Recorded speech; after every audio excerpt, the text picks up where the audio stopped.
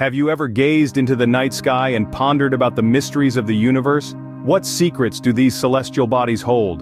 One such enigma is the comet Ikeya Seki. Delve into the infinite expanse of the cosmos where every star, planet and comet holds a story. Among these celestial narratives one stands out as particularly intriguing, the tale of Comet Ikeya Seki. This long-period comet discovered on an ordinary day in September 1965 is not just any celestial body, it belongs to a special group of sun-grazing comets known as the Kreutz Group, sharing similar orbits with the Great Comet of 1882. Discovered by the keen eyes of two Japanese amateur astronomers, Ikeya Kaoru and Seki Tsutomu, this comet blazed a trail across our skies, bright enough to be seen with the naked eye even in daylight. Its close approach to the sun induced a fragmentation, a spectacle not seen since the Great Comet of 1882. The story of Comet Ikeya Seki is not just about a celestial body, it's a tale of discovery, surprise and scientific revelation. Imagine a world before technology, where two amateur astronomers discovered a celestial spectacle. This is the story of Ikeya Kaoru and Seki Tsutomu, the discoverers of Comet Ikeya Seki.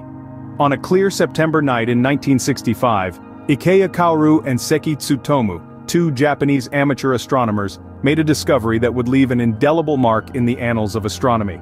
Independently they spotted a faint smudge of light in the pre-dawn sky. Little did they know they had stumbled upon a cosmic wonder, a long-period comet, soon to be named Ikeya Seki. Unveiling its existence to the world, the comet sparked a wave of excitement. It wasn't just any comet, Ikeya Seki was a member of the Kreutz group, known for their sun-grazing orbits. The last time a comet of this group had shown such spectacle was the Great Comet of 1882. Their discovery wasn't just a triumph for amateur astronomy, but a gift to the scientific community. Comet Ikeya Seki wasn't just another comet, it was a spectacle that lit up our sky, visible even in daylight. This comet, part of the Kreutz group, navigated its way through our solar system moving in a highly inclined retrograde orbit. As it made its closest approach to the sun, it transformed into a radiant wonder, shining bright enough to be seen by the naked eye in broad daylight. An unusual sight indeed, but the journey of Ikeya Seki was not without its trials. The comet, like its predecessor the Great Comet of 1882, couldn't withstand the immense tidal forces induced by its proximity to the sun. These forces caused it to fragment, a process that only added to its spectacular display.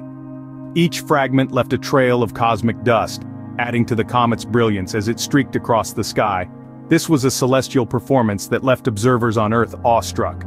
Comet Ikeya Seki wasn't just a spectacle for skygazers, it was a treasure trove for the scientific community. Its dazzling display in 1965 presented an opportunity that astronomers hadn't seen since the Great Comet of 1882, a chance to study a bright, sun-grazing comet with the modern instruments of the day. The proximity of Ikeya Seki to the Sun, coupled with its brightness, allowed astronomers to gather valuable information about its structure and composition. It was discovered that the comet had fragmented due to tidal forces induced by its nearness to the Sun, a phenomenon that provided insights into the behaviors of these celestial travelers. The data collected from the comet has been instrumental in expanding our understanding of these heavenly bodies, providing a foundation for further comet research. Comet Ikeya Seki, in its journey, has left behind a legacy of discovery, knowledge, and a sense of wonder that continues to inspire us as we gaze into the night sky. If you enjoyed the video hit the like and subscribe button. Thanks for watching.